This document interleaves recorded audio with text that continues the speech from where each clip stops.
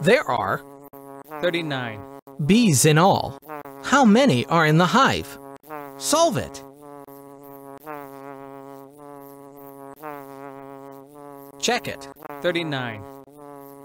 38. 37. 36.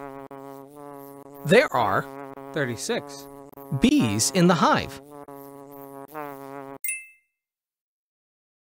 Erase it.